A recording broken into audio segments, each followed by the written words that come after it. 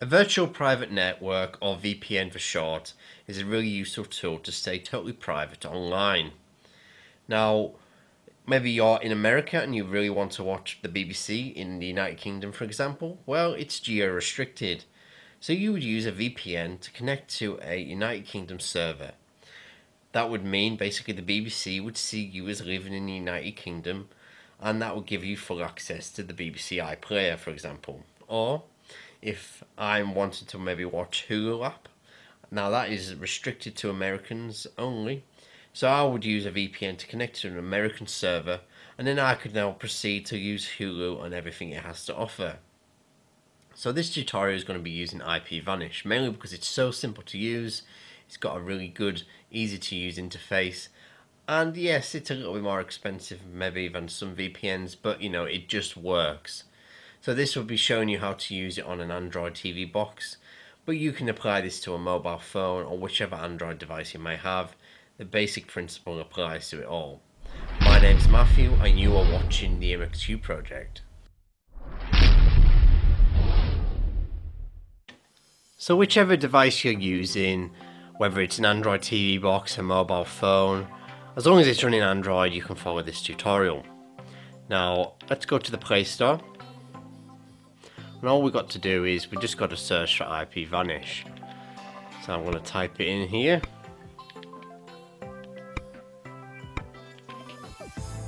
And there we go. We can see the app is just here. And then we can just select install. Now my device I'm using at the moment is actually running Android TV so if you're wondering why this Play Store maybe looks a little bit different to yours, don't worry about it. It's just the Android TV version of the Play Store. So we'll let that download and let it install and we'll come straight back to it. So now that it is downloaded and installed, we can just select open. Now, when you first subscribe to IPVanish, for example, obviously you're going to be given a username, you're also going to be given a password. So now's a good time to enter those. So once you've entered your username and password, it'll log you in and you'll be presented with this screen. It'll actually just display where you are at the moment, so I'm in the United Kingdom and you now need to select which server you want to select. Uh, well, so you've got a choice of countries, so you can go to country here and you've got all these different countries you can now connect to and you can have a look through them all and see which one you want. So if you're in the United States and you want to connect to a United Kingdom server, you'll click on United Kingdom. Heck, you can even select city and you can select all the different ones available, but you normally just choose best available and then all you need to do is click connect.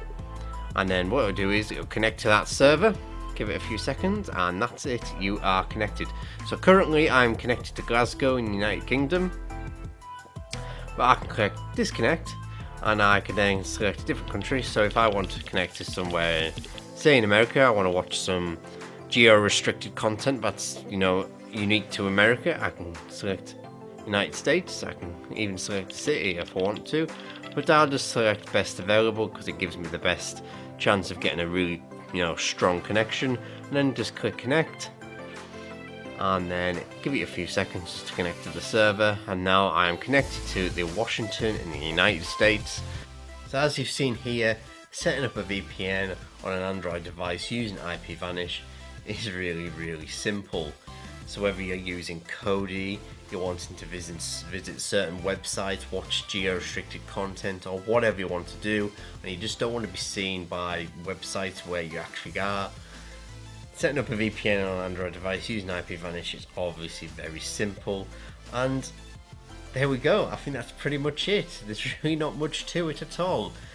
It's available as well for Windows, Linux, iOS and so on. You can even install it directly onto your router so you're not having to faff on, you know, install it onto different devices. And yeah, there we go. That is IPVanish VPN. So thanks for watching, guys. Don't forget to check out our website, themxqproject.com. Lots of articles, videos on there discussing all things tech and Android TV boxes. And don't forget, come over to the Facebook group. A bunch of lovely people over there. Great little community. And yeah, thanks for watching, guys, and we shall see you in the next one.